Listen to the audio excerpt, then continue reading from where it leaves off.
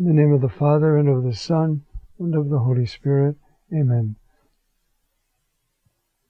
Heavenly King, Paraclete, Spirit of truth, you who are everywhere present and fill all things, treasury of all that is good and master of life, come, dwell within us, cleanse us from all stain, and save our souls, O good one. Mary, cause of our joy, pray for us. In the name of the Father, and of the Son, and of the Holy Spirit. Amen. We're going to continue now in the Gospel of Mark. Uh, last time we took a section that goes um, from uh, chapter 8, verse 27, uh, down uh, to uh, chapter 30, I mean, verse 33, I think. No, we went down to the end, verse 34. All right. Verse 34 introduces us to uh, the, the, teaching. No, actually, we went down to uh, chapter 9, verse 1. And that's where we're going to pick up today, chapter 9, verse 2. Um, after uh, predicting his passion and having Peter rebuke him for it, um, he calls Peter Satan. Out of my way, Satan. Because your mind is not set on the affairs of God, but on the affairs of men. And then calling the crowd to him, he gives us instruction about if anybody wants to uh, follow me, then uh, he should uh, pick up his cross and so forth. And he ends by saying, There are some standing here who will not taste death until they see the kingdom of God coming with power. Now that introduces the transfiguration, even though the uh, prophecy is totally fulfilled at the resurrection. So the text begins, after six days, Jesus took Peter and James and John and led them up to a high mountain privately, alone. So he took the three that he always takes, like the raising of Jairus and places like that. He takes those three. So Peter, James, and John. And he goes up to this high mountain.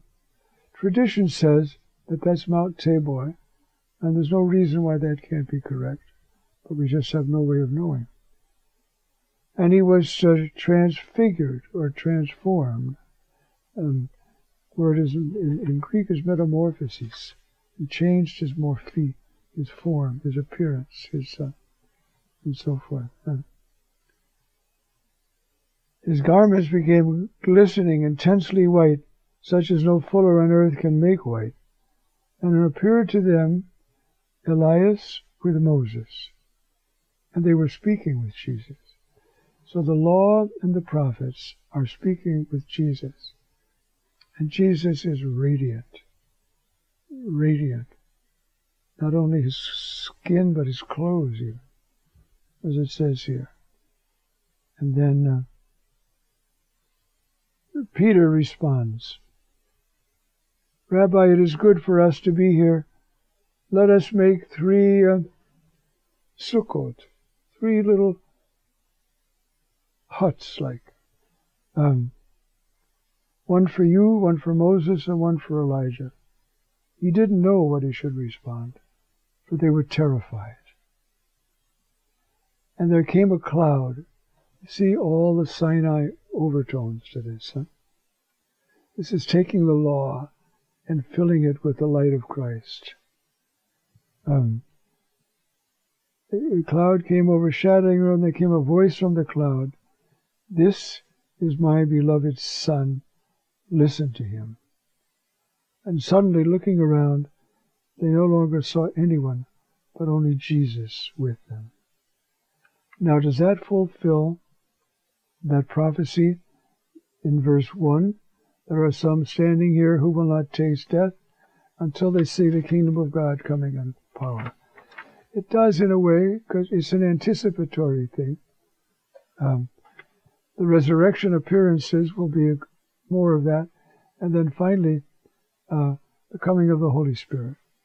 And there, the kingdom of God will come with power.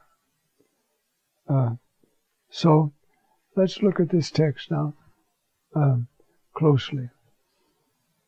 Jesus takes along with him Peter and James and John, and he brought them up to this high mountain alone with him. And the text says then, Ke metamorphothi, emprosenafton. He was transfigured uh, before them. And uh, his garments became glistening intensely white, such as no fuller on earth can make white. And there appeared to them Elias with Moses, and they were speaking with Jesus. That's the first part of this uh, event, huh? And so, uh, uh, it's a, it's a it's a complete surprise to the apostles. They don't expect this, and there's this radiance. It's an anticipation of that radiance that Paul speaks about in Philippians. Huh? Uh, he's going to, we, we believe in Jesus and we expect him to come from heaven and transform our bodies to be conformed to the body of his glory. And so, um, which is, in other words, then it's the anticip, what we have now rather, is the anticipation of Jesus' permanent state after he goes through his passion. But before that, as this text says, and is confirmed by uh, Second Peter, uh, it's it's it's a it's a prophetic light which suffuses Jesus and manifests uh, his divine reality, and that's uh, what happens. You see, and that as no fuller on earth could ever do. Okay? Uh, and so then Peter says, Rabbi, it is good for us to be here. Let us make three Sukkot. Uh, so that there's an allusion to the whole feast of Sukkot.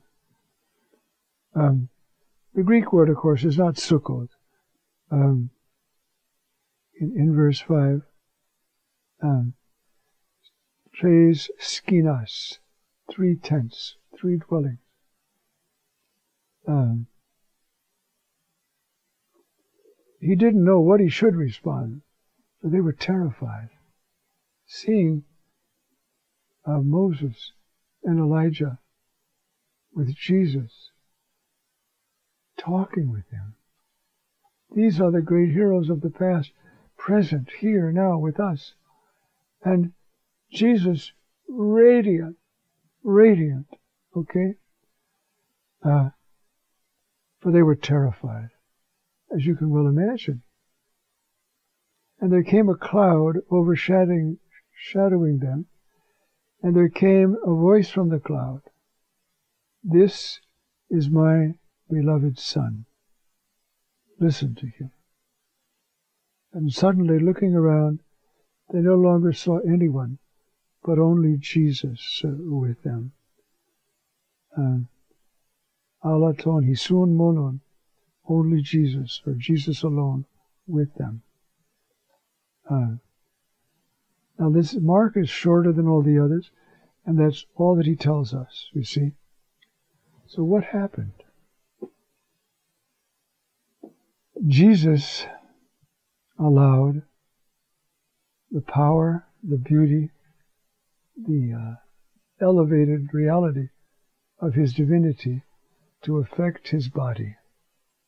Now, now this is uh, right after the passion predictions, as I just read them to you, one of them to you anyway. Um, and now we have this uh, confirmation of their faith, and it did help. Um, and it's from this that uh, Peter in that letter says, you see, that you, you do well to attend to the prophetic word.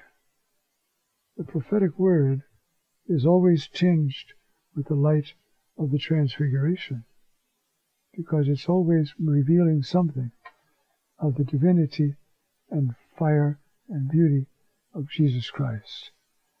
And that's what's going on. And so, uh, this text is telling us that. Um, and then there came a cloud overshadowing them, and there came a voice from the cloud This is my beloved Son. Listen to him. So, Jesus is radiant, and the Father's voice confirms. Now you see something of my Son you've never seen before the radiance of his being. That's the way he is now forever, since the resurrection.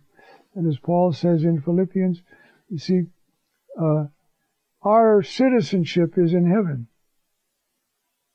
And it's from there that we expect the Savior who will conform our body of lowliness to be conformed to the body of his glory and so forth. Uh, there in that text in Philippians. So, um, this is my beloved Son. Listen to him.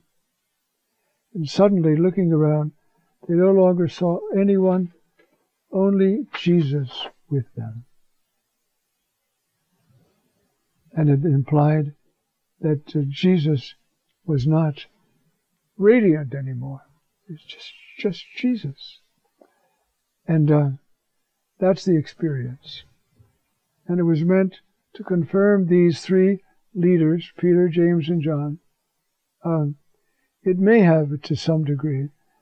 Um, certainly, that's uh, what uh, First Peter talks about uh, when he talks about the um, the prophetic word. And uh, maybe I should read that for you.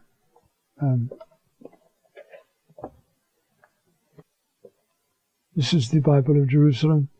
So we have confirmation. Well, I'll go a little bit further.